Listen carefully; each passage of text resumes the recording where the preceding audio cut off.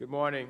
This hearing of the Senate Foreign Relations Committee will come to order. Let me uh, welcome uh, our panelists today. We appreciate your participation.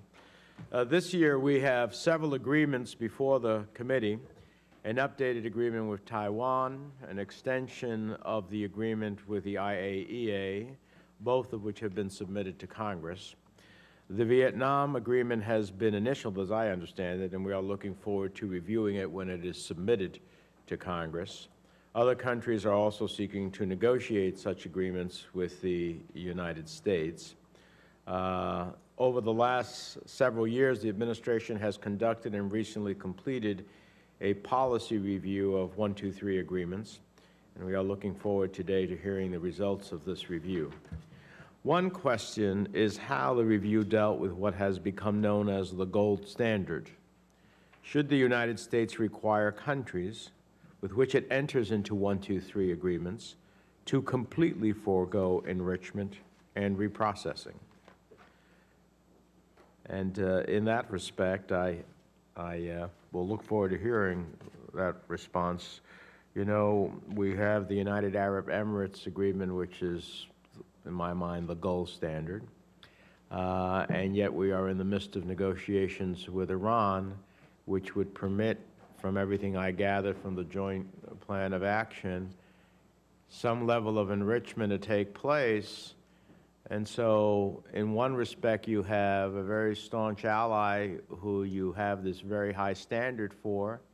In another respect, you have a country that ultimately engages in a series of support of terrorism across the, the globe, that uh, is engaged in Syria, uh, that has challenged the world with its nuclear ambitions, and we're headed to something that's far less than the UAE, UAE standard. So uh, I, I think it's important to get a sense of how we uh, pursue uh, these agreements. If the administration has settled on a case-by-case -case basis, we'd like to know what are the criteria for pursuing or not pursuing the gold standard.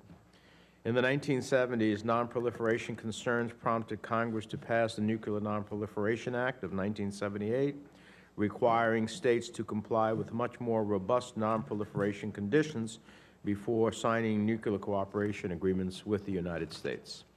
A lot of water has passed under the bridge since then. Iran and North Korea have sought to use the pretense of a civilian nuclear program to work towards nuclear weapons and the A.Q. Khan uh, network spread nuclear technology across the globe. Another important issue related to 123 agreements is the declining role of the United States in the global export market for nuclear technology.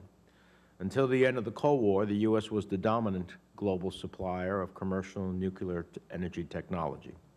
Over the last 30 years, we have seen a significant decline in the U.S. share of the market, and in our ability to promote national security objectives through peaceful nuclear cooperation.